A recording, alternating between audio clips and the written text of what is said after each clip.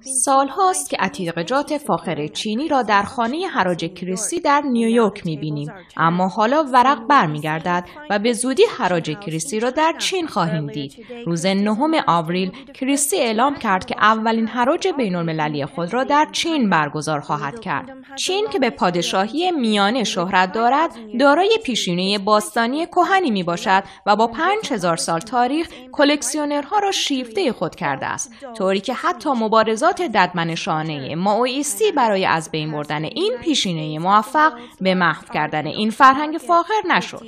کریستی شعبه حراج خود را حدودا در پاییز امسال افتتاح خواهد کرد.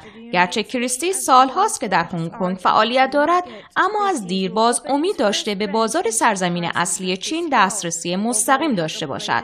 مقامات شانگهای مجوز فعالیت کریستی را به تجارت در زمینه آثار فرهنگی محدود کردند.